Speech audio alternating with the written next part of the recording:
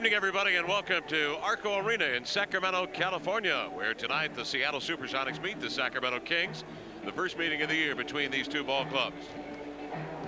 Hello again, everybody. Kevin Calabro along with Marques Johnson here tonight. The last time we were in this building was April 21 when the Sacramento Kings went on a 30 to 1 run in the second half, beat the Supersonics, won the season series three games to two. The first time the Kings had done that to the Sonics, won a season series in nine years.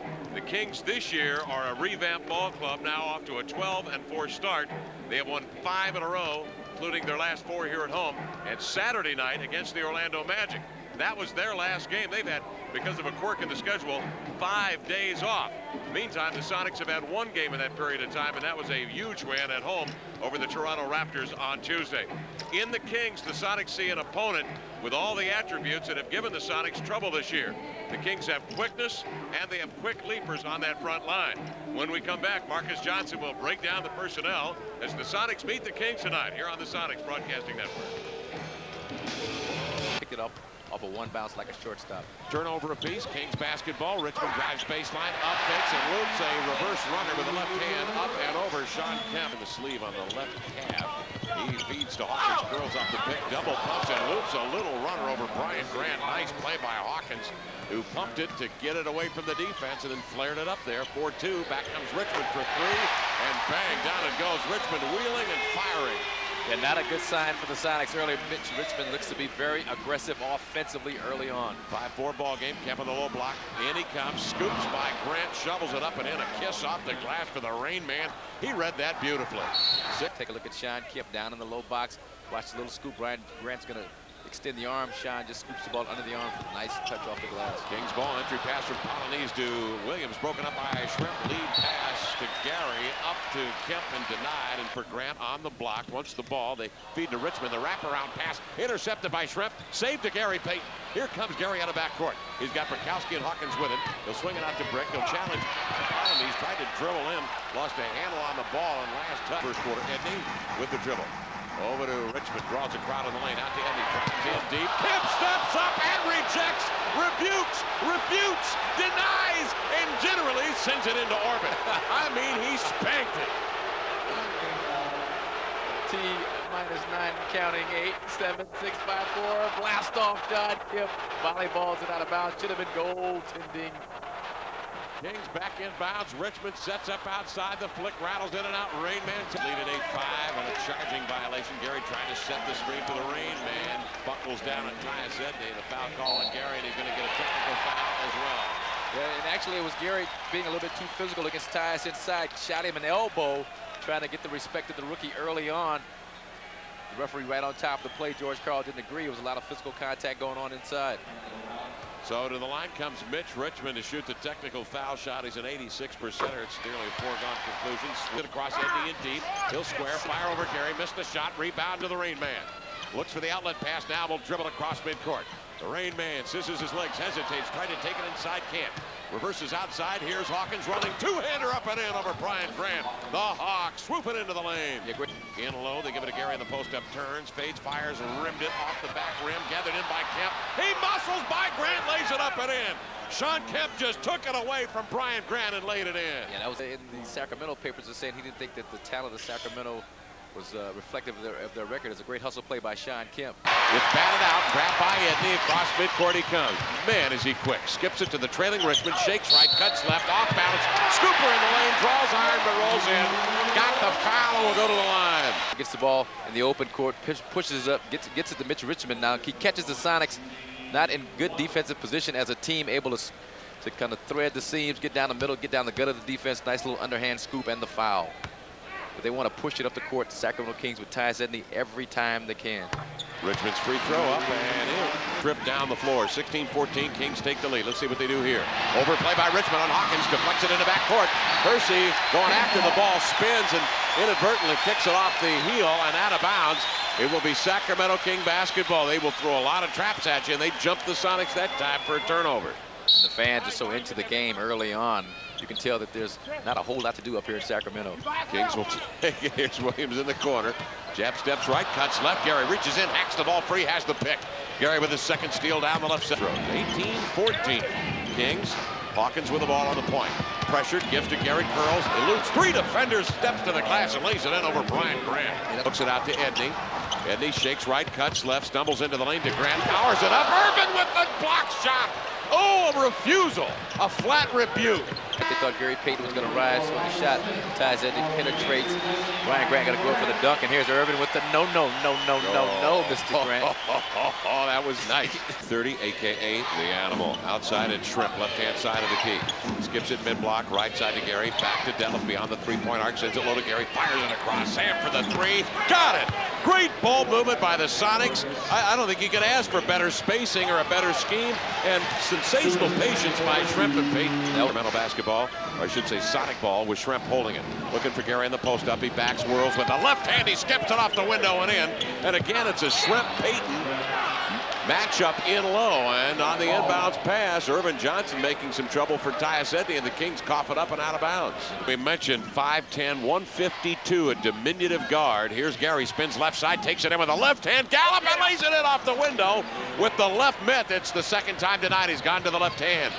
Askew out high, left-hand side of the arc with the rock over to Hawk. Gets it, wheels it in low to Shawn. Backs on Causwell, hooks him in the lane, fall away. Right-hander up and in for the Rain Man.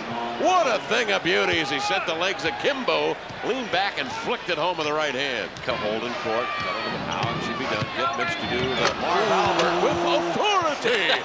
Payton the lob pass to the Rain Man with two hands. He brought it down hard. He's got eight points. Yeah, there's the lob play.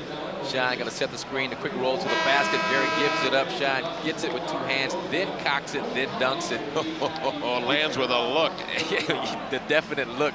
But the Kings, the weak side defense, slow rotating down to Shawn Kemp. You've got to put a body on him before he can blast off like that, or else there's no stopping him. He'll skip it out on the wing to the Hawk. Hersey back on top to the Rain Man, races down the right side, gallops by Causwell, kick out to the Gary Payton for the three. Gary Payton in the corner for the three. He has nine points. The Sonics looking to bury the Kings, up by 17 points.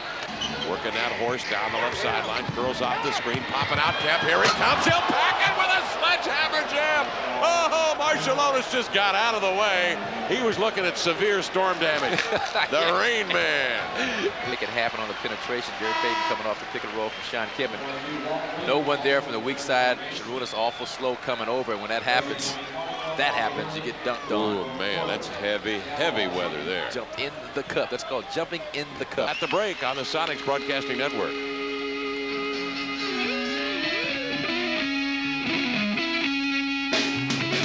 Side hands to Marciulionis. Gallops down the left side, turns the corner on Ervin, swings it across the baseline to Grant. Out to Richmond, drives in, slinks between defenders. The Rain Man is there as the last line of defense, and goaltending is called on Kemp as he clearly got the ball at his apex. Richmond with 11 points. Get a nice hustle play by Shawn Kemp trying to get the block shot. Rich Mitch with the scoop, and it was just starting to come down. That's a good goal. Ford with Snow. Edney, high left, outside to Polynice, top of the key. To Richmond, three on the shot clock. Vinny stands up Richmond, forces him into a double pump shot. He adjusts in midair and scores. Vinny did everything he could. He threw the whole arsenal at him. And Mitch, only the game of the year last year to lose the playoff spot. Denver won it. Richmond raised on tiptoes. The Sonic bench wanted to walk. Richmond then drives to the baseline, up fakes, drew the foul, and scores. Mitch Richmond with 15 points.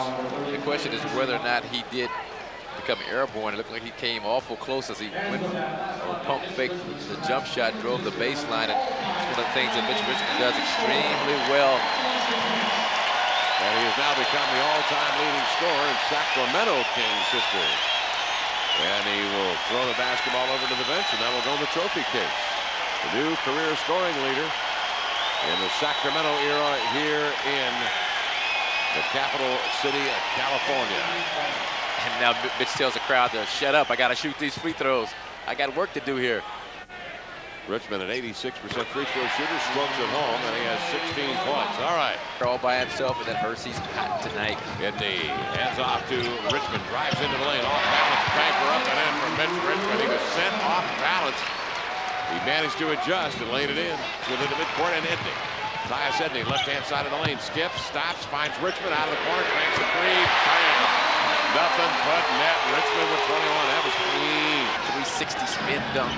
10-point lead. Schrempf takes the hand up. Gary gathers it, whirls into the lane like a Texas tornado and finishes with a left hand. G-man getting busy. with has got no choice but to bring it up. Gary from behind bats it away at midcourt. He's got Schrempf right, Hawkins left, and Shawn trailing. Drops it between the legs to Kemp on the dribble, blows by Grant. Fall away baseliner, forced it to midcourt. Skips it across. Richmond handles it. Right hand side of the arc beyond the three-point range. Settles in now, dribbles, draws, kicks. Smith denied by Johnson. A late whistle and a call, and the foul is on Ervin Johnson.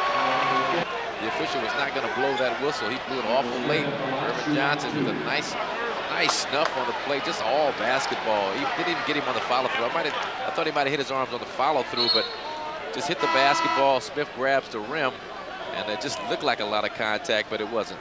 To the cross the head of the key to Hawk. Double team to Vinny, drives in, skip past Gary, cutting in. Missed the reverse, grabbed the rebound in traffic, and lays it in. What a tremendous and beautifully gifted athletic play by Gary Payton. Yep. The air by Hawk, grabbed by Gary. George wants him to run. Payton up the floor to Hawk. Stops, pops. He's in a zone. The Hawk. He's got 34. He won't be denied. You gotta feed the Hawk. You got to feed the Hawk. That's why George wanted Gary to run. He saw Hersey wide open, spotted up at the three-point line down at the offensive end. Balance trying to go for the left-handed shot. Well, the Sonics did their homework on the Kings. They exploited the weaknesses of the Kings. Richmond the three, Richmond with 26 points. There are times when the game comes down to a single moment, when one pass, one whistle, one play will make the difference. When that time comes, it's your job to weigh the risk and reward of a single decision. The pressure, possibility of the moment, that's why you do what you do. That's why you coach. And when it's over, it's over. Until tomorrow. Tonight's key performer was undoubtedly Hersey Hawkins. The Hawk at 34 points tonight, 12 of 17 from the field, and his seven threes tie an Arco Arena opponent record for threes in a ball game. He was outstanding tonight, Marques. Yes, and the Sonics learned the value of feeding the Hawk right there. he did a good job getting open also, just did a good job doing everything. Defense, uh, taking the ball to the basket, fantastic all-around game for Hersey Hawkins. And that is tonight's key performer brought to you by Key Bank, America's first choice. Message game tonight? Eh, early on, I mean, it doesn't mean a whole lot because there's so much of the season to play, but it kind of knocks the Kings off their perch just a little bit. Speaking of Hawk, no, no pun intended. just tied that all in together like that. Five days rest might have hurt the Kings. As for the Sonics, they had a lot of time to work in practice. You can see it was evident. They had a real plan tonight, stayed with it. The offense was very good. The defense was uh, very assertive We'll see what they bring tomorrow at the Key Arena. We'll have it for you on cable, pay-per-view basis, and of course on radio. Marques Johnson and I will be there tomorrow night. The tip at 7 o'clock as the Sonics meet the Portland Trailblazers. Final tonight in Sacramento. Good game. Sonics over the Kings, 120-103. So long from Sacramento on the Sonics Broadcasting Network.